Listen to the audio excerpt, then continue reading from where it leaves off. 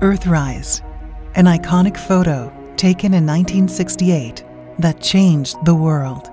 This photo inspired 50 years of images of our planet and is credited with helping launch the environmental movement.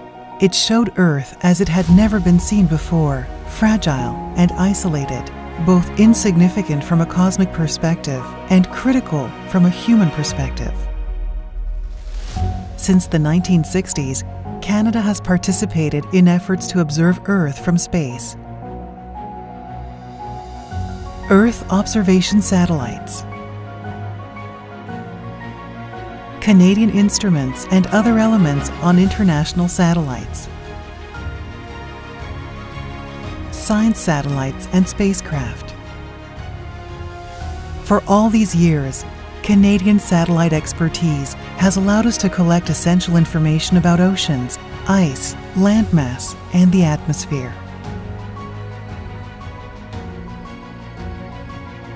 Earth observation satellites help us monitor and protect our environment, manage our resources, and ensure the safety and security of Canadians. This Earth Day, let's celebrate our planet.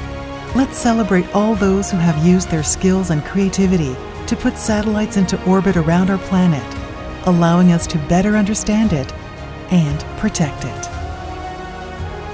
Let's celebrate the progress we've made over the past 60 years thanks to so many visionaries, engineers, scientists, and decision makers.